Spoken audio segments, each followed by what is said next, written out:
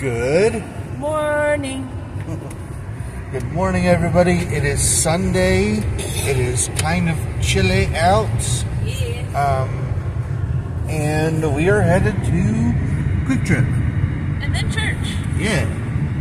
Um, plan today is pretty simple. Uh, we go to church, and then when we get back, this one has to get ready for work. Um, and then I don't know what I'm doing. I'll play some Spider-Man. Yeah. I work. A few words. So, is there anything else? I think that's it right now. We're starting uh, at church. We're starting Christmas carols. Not like during the whole worship, but like one per service. Christmas. All right. So we will see you all in the next one. Well, church was really, really good. Yeah. We started a new uh, series on the prophecies in the book of Matthew uh, that led towards the birth of Jesus Christ. Yeah. I don't know if it's necessarily prophecies as much as the historical accuracy pointing to prophecies in the Old Testament. Oh, well, yeah, what she said. um, so I was gonna tell Alex, you know, I've always heard prophecy is hearing from the Lord. And I think Pastor Alex has been in on that, but you'll have to go and watch Battle Creek on the YouTube.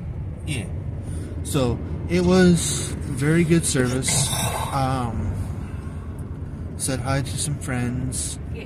and now we are heading back to the home so that way that one can start getting ready for Worky work. worky work. Um, so yeah. Um, anything else? I think that's it right now. All right then. With that said, Snorlax, use headbutt.